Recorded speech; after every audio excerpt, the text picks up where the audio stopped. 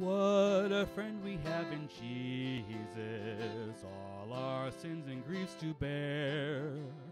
What a privilege to carry everything to God in prayer. Oh, what peace we often forfeit. Oh, what needless pain we bear. All because we do not carry everything to God in prayer.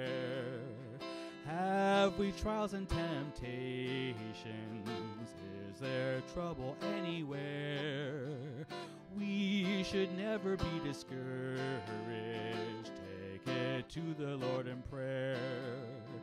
Can we find a friend so faithful who will all our sorrows share? Jesus knows our every weakness